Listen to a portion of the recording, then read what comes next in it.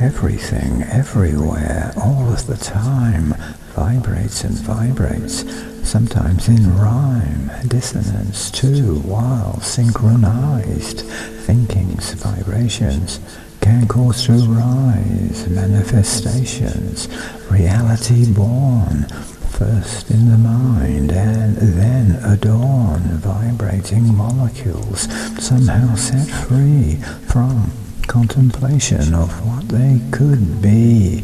Everyone's everywhere, vibrating too. The music of life is in me and in you. Calm repetition of mantras within harmonizes vibrations. Each time we begin thinking there's more than thinking to do.